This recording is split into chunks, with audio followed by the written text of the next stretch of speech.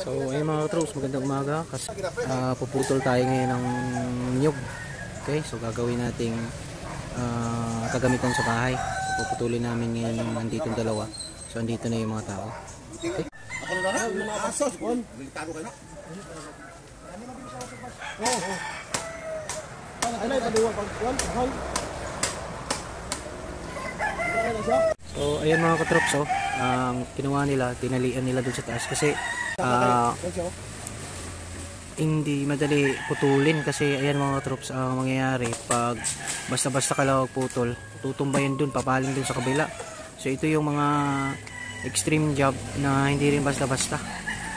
So kagaya niyan babantingan ang tawag nila banting. Baga itatali muna kaagad kasi ah, pagputol dun dahan-dahan na pagputol paunti-unti para hindi papaling dun sa bahay. Titignan natin kung anong gagawin nila okay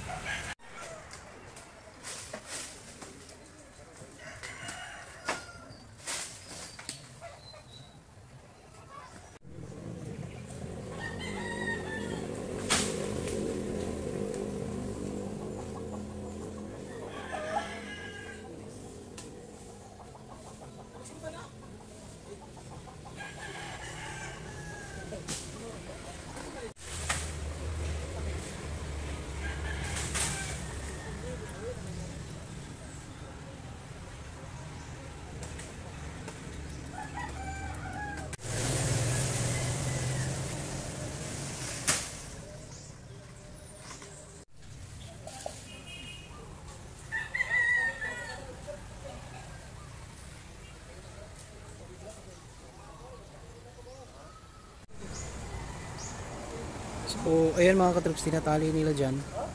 So, basically, tinatali dyan yung isang ah, part ng tali. Okay? Yan, isang part ng tali. Kasi, ah, para maiwasan yung paling dun sa may bahay. So, meron naman yung isa, kung makikita nyo. Ayan, meron namang isa rito mga katrops. Ito. Ito naman yung isang tali na yan, nakarugtong nun, nakatali din doon sa parte parte ng kahoy ng kukulamber na puputulin. So dito yata nila itatali banda para sure na hindi papaling dun. Okay? So ayan mga katrops oh. So ayan mga katrops, inihila nila. Ayan. Ay na, ay ay na, ay na. Ay siya. Ay na, hila lang pa kayo. Hila lang. Tindog lagi.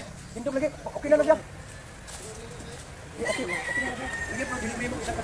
So ayun mga katrops, nakatali na ako kung mapapansin nyo. Ayan. Ah, tali dun sa may puno ng mangga. So, ayan mga katrops. So, ayan, isang tali naman. Andito. So, may malaking puno. Okay, so, andito sila nakantabay. Ayan. So, mukhang yung part na yun, yun yung puputulin. Tapos, hihilain. Sana lang hindi papaling dun sa may bahay kasi talaga malaking pinsala mangyayari.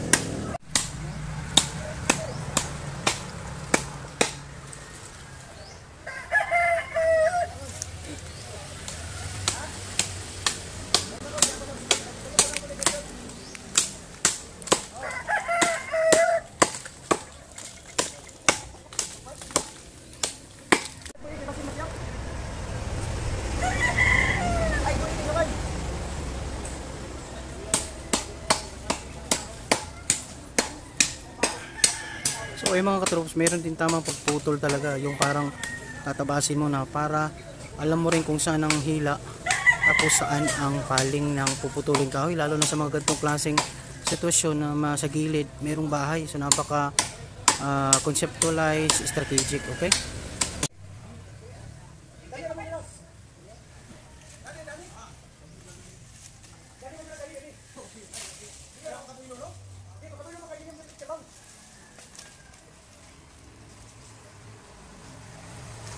Ayan mga katrops, putulin na no? so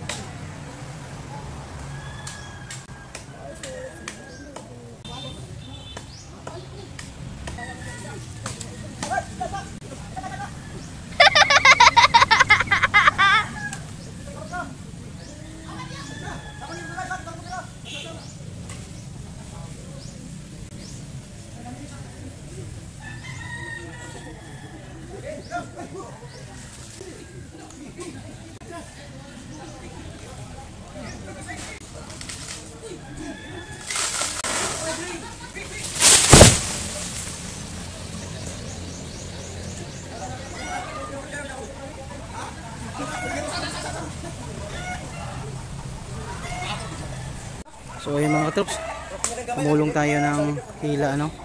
So ayan, ito kami-kami lang. Ayan, so talagang strategic na kailangan tama yung pag kabas mo dun para maiwasan yung paling dun sa may bahay. So napakadelikado. So ito na mga katroops yung kaputol oh.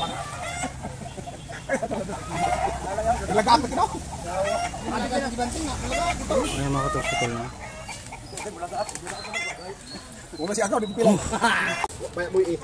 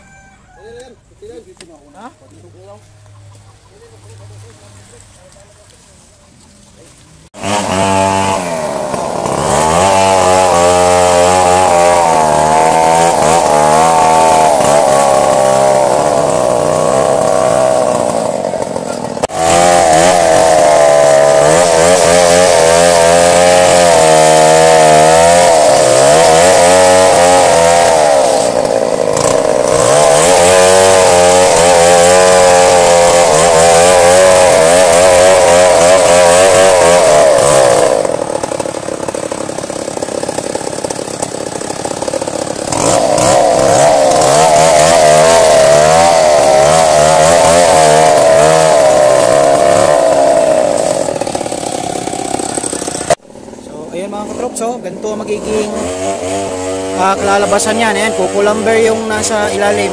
Ito naman, talisay. So, ganyan mga katrops, ang magiging kalalabasan ng puno ng niyog. Okay, depende naman sa sukat, 2, 3, o 2x3, 4x4, 2x2, ayan.